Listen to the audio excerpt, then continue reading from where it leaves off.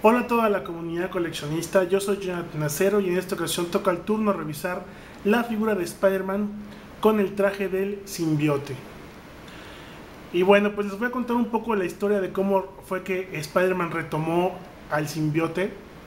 Pues resulta que en la saga del Red Goblin, donde Norman Osborn se hace de Carnage y se fusiona, y así el simbionte pues no tiene ninguna de las debilidades como el fuego y el sonido. Spider-Man se enfrenta a él, pero pues la verdad no puede, es demasiado poderoso. Y todos los aliados de Spider-Man como Miles Morales, eh, Silk, Venom, e incluso eh, Flash, Thompson, como el agente anti-Venom, este, pues eh, incluso Flash muere en esa saga, pues no pueden con él. Entonces, Eddie Brooke le dice a Spider-Man, a Peter Parker, que utiliza el simbiote. O sea, es decir, que utiliza Venom para que pues esté más en igualdad de condiciones contra el Red Goblin, ¿no? Y así es como la nueva o la retoma de Peter Parker con el traje, pues sacaron esta figura y bueno, pues el simbiote por sí solo como que hizo un diseño diferente de cómo se luciría Spider-Man, ¿no? Así tal cual. Bueno, pues sin más preámbulo vamos a ver la caja, ahí pueden verla en la parte de atrás, la telaraña, porque es del universo de Spider-Man, obviamente.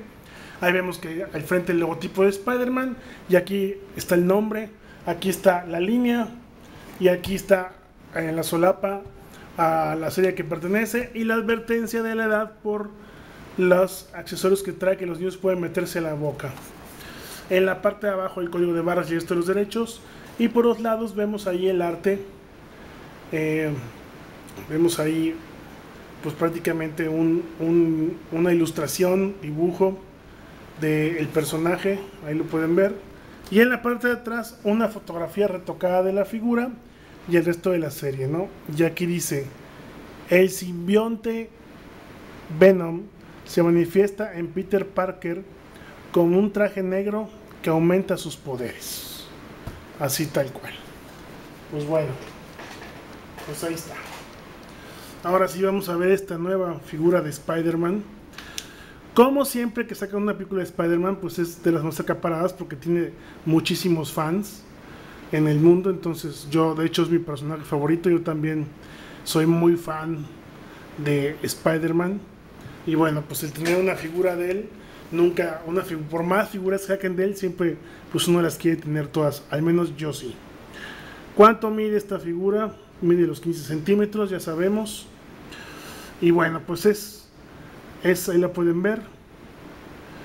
Vamos a ver su articulación, su cabeza es para abajo, para arriba, rota a los 360 grados. Al igual que los hombros. Nada más hay que tener un poquito de cuidado. Al igual que los bíceps. Y al igual que sus muñecas. ¿Ok? Tiene esta articulación en los hombros que le decimos mariposa porque se abre hacia el frente y hacia adelante. Vean, expande más sus, sus hombros hacia atrás y los brazos hacia adelante. Y entonces, vean, sin perder la estética de la figura por la parte de atrás. ¿Ok? Así es como se mueve. Y bueno, hasta ahí llega los hombros, hasta, ahí, no, no suben más. 360 el bíceps y trae doble punto de articulación en sus codos. Y además de girar, pues las muñecas, las manos se pueden hacer para adelante. ¿Ok? ¿Qué trae de accesorios la figura? Trae el otro juego de manos. Entonces, eh, yo voy a dejar a esta figura porque me gusta más como luce. Le voy a dejar las manos en forma como de garra. Así es como se las voy a dejar. Y estas pues se van a ir a la caja de manos extras. ¿Ok? Muy bien, y ahí está la figura con sus dos manos. El dorso, un punto para adelante, regresa a su lugar y un punto para atrás. La cintura, 360, ya la... Los piernas se pueden abrir, este es el rango de piernas que tiene. Se puede hacer para adelante y para atrás un poco, porque estorba un poco con la cadera, ahí lo pueden ver. 360 en sus eh, muslos, doble punto de articulación en la rodilla. Este molde de Spider-Man no tiene articulación en la pantorrilla y su pie se puede hacer hacia abajo, hacia arriba y hacia los lados. A diferencia de otras versiones, pues este, eh, este, este molde decidieron ponerlo con los pies como si estuviera descalzo. ¿Ok? Y ahí está la figura. vamos a... Lo que voy a hacer es ponerla en la plataforma para que ustedes puedan pues ver la figura en plenitud. Pero voy a poner la otra figura de Spider-Man ok para que ustedes vean las diferencias. Y bueno creo que ahí está. Y bueno pues la figura de Spider-Man simbionte, simbiote esto en un plástico en color negro a excepción de los ojos de la máscara o de la cabeza que es un plástico en blanco toda la eh, el blanco que ven ustedes en las manos en la espalda y en el pecho es una aplicación de pintura y bueno pues ahí pueden ver la diferencia con las dos arañas ¿no? déjenme quitar esta para que vean por la parte de atrás, vean, y eso un rediseño del personaje totalmente. Ahí está. No se quiere parar esta figura. Qué lata. Ahí está. Y es un rediseño de la araña blanca, ¿no?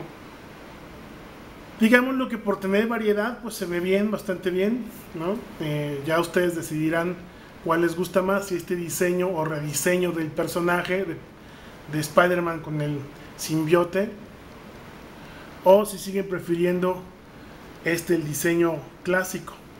¿Ok? Bueno, déjenme. Vamos a poner aquí a las dos figuras para que vean cómo se ven. Vamos a abrir un poquito los brazos. Es el mismo molde con diferentes pies. Y ahí pueden ver pues cómo cambia la araña, ¿no? Oye, ¿se le puede cambiar la cabeza? Pues vamos a ver. Vamos a ver, yo creo que sí.